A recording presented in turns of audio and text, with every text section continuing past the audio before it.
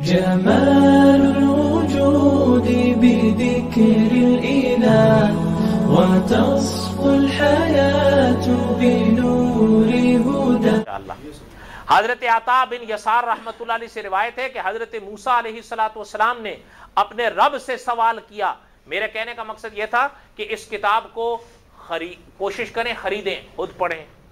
گھر میں پڑھائیں۔ گھر میں بچے تو آپ کے اور ہمارے اردو نہیں جانتے، لیکن آپ اور ہم تو جانتے ہیں۔ کوشش کریں۔ حضرت موسیٰ علیہ السلاۃ والسلام نے اپنے رب سے سوال کیا کہ اے میرے پروردگار، آپ مجھے اپنے ان خاص حضرات کے متعلق ارشاد فرمائیں جن کو آپ اپنے عرش کے سائے میں جگہ عطا کریں گے۔ جس دن آپ کے سائے کے سوا اور کوئی سایہ نہیں ہوگا، اللہ تعالیٰ نے ارشاد فرمایا یہ وہ لوگ ہوں گے جن کے دل پاک ہوں گے، ان کے ہاتھ گناہوں سے بری ہوں گے، جو میری جلالت شان کی خاطر ایک دوسرے سے دنیا میں محبت کرتے ہوں گے۔